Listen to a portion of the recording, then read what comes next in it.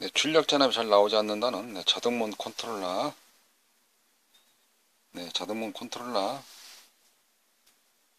내부 모습을 살펴보도록 하겠습니다.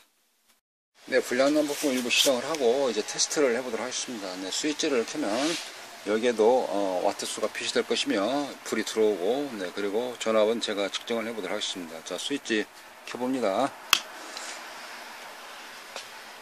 네, 부팅이 됐고요. 어, 와트는 5.8와트.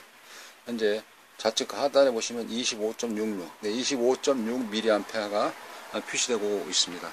네, 그러면 전압을 체크해 보도록 합니다. 네, 전압을 이쪽에 오른쪽에 찍어 보면 네, 좌측 테스트기에서 전압 측정을 알 수가 있는데요. 자, 그러면 현재 전기가 들어가 있고 열려 있으니까 조심해서 살짝 들고 밑에 스펀지로 네, 왜 그러냐면 이 버튼을 눌러서 에러가 뜨면 출력이 나오질 않거든요.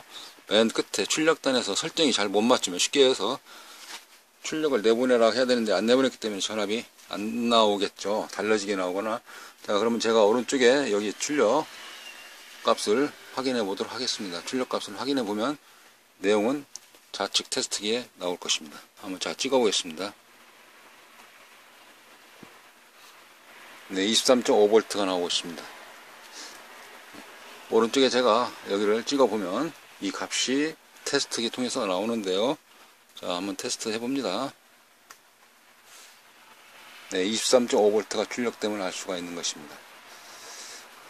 예, 잘 됐거든요. 네. 감사합니다.